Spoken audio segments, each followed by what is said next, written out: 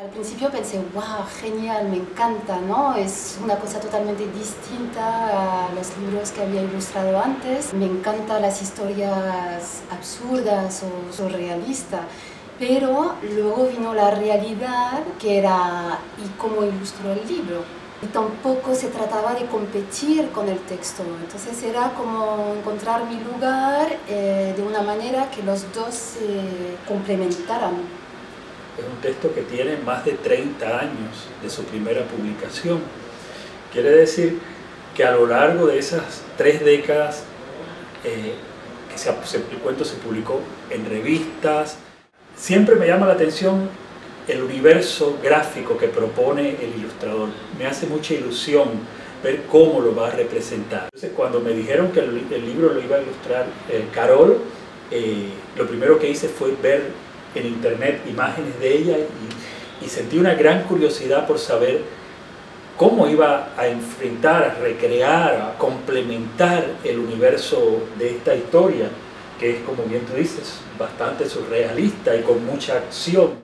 Es un, es un ejemplo de, de lo que significa trabajar con Ecaré, entregar un texto tuyo a Ecaré, porque el resultado eh, trasciende el, un libro más que se publica, sino que estás entregando al lector un objeto de arte. ¿no?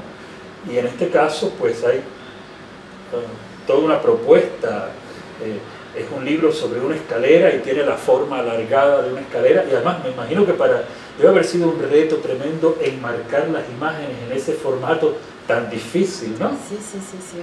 Fue pero justamente estuvo muy bien porque hay esta imagen eh, que sale con la fanfara.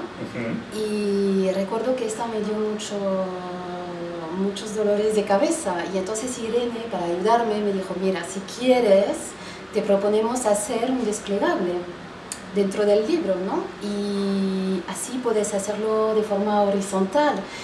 Y podemos usar otro desplegable para el final del libro donde ya aparece la escalera y entonces pensé, ah, pues sí, genial, pero luego pensé, eh, vamos a ver, es darle mucha importancia a esta imagen que en realidad no tiene más importancia que en las otras páginas.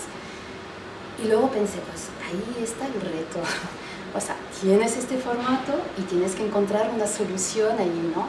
Y entonces lo bueno es esto, que te salen imágenes que nunca se me hubiera ocurrido si no hubiera tenido este formato. Cuando escribes una historia como está escrita esta, desde el mundo del Caribe, eh, y al cabo de 30 años encuentras eh, la visión que tú le das, ¿no? y, y Ecaré aquí en, en Barcelona, entonces te das cuenta cómo el texto sigue vivo y se va transformando con el paso del tiempo. Es el mismo cuento, pero a la vez se ha remozado se ha convertido en otra cosa, eh, se ha vuelto con esta edición más cosmopolita.